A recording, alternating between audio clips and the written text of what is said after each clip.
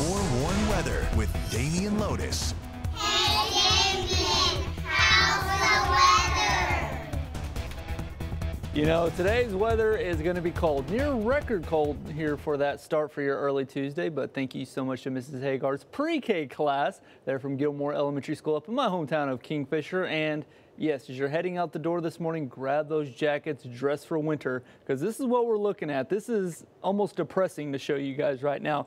These, this is the live map of the 24-hour temperature change. The temperatures right now compared to this time yesterday morning as the front was making its way through. And right now we are 40 degrees colder, not including the wind chill, 40 degrees colder right now in Oklahoma City than what we were this time yesterday, seeing almost record temperatures here to start your early Tuesday. Look at this. So far, our morning low has been 17 degrees. Now temperatures can still dip one or two more degrees here before the sun comes up, so we're going to challenge that record low set way back in 1911, over 100 years old. So if we get down to 14, we could set a new record low temperature here for today.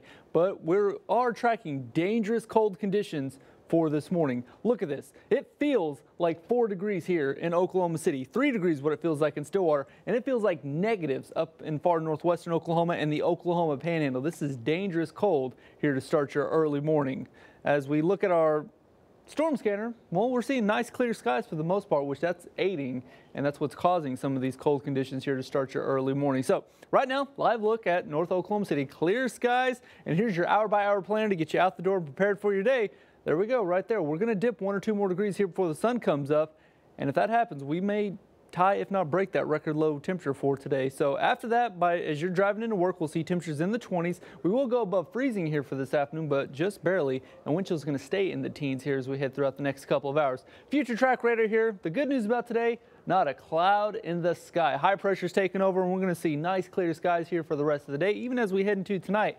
And highs today across the state, 20s, 30s, 40s, even some 50s out in the Oklahoma Panhandle. So the Oklahoma Panhandle is the interesting one. They're going to start off the coldest and end up the warmest. Go figure that, right? So we'll get up to 32 degrees today for Stillwater, 33 here for Oklahoma City, 34 out in Kingfisher. So yeah, across the Oklahoma City Metro, we'll either be barely at or barely above freezing here for today. 35 the afternoon high in Norman. As we head into the overnight hours, once again, mostly clear skies, light winds. So that combination, temperatures are once again going to bottom out. So we will be sub-freezing once again tonight. But fortunately, not record-setting low temperatures for tonight. 26 for Stillwater, 25 in Oklahoma City, 27 tonight, the overnight low in Kingfisher. So still going to have to dress for winter here for your early Wednesday morning. And then as we head into Wednesday afternoon, once again, not a cloud in the sky. So we're going to see plenty of sunshine as we head throughout the day. A little bit of cloud coverage pushing in late tomorrow, but overall, lots of sunshine here for your Wednesday afternoon. And highs tomorrow will rebound back into the 40s and 50s. So it's going to feel all right here for us. 51 for Stillwater, 52 for Enid and Kingfisher. For Oklahoma City, we'll get up to 50 degrees here for your Wednesday afternoon. So overall, not too bad here for us. And then as we head into Thursday, Thursday we'll see a little bit more cloud coverage back in the forecast, and highs are once again going to be in the upper 40s to low 50s. So we will see a little bit of a rebound for us. Seven day forecast, sunny skies, temperatures barely above freezing here for today.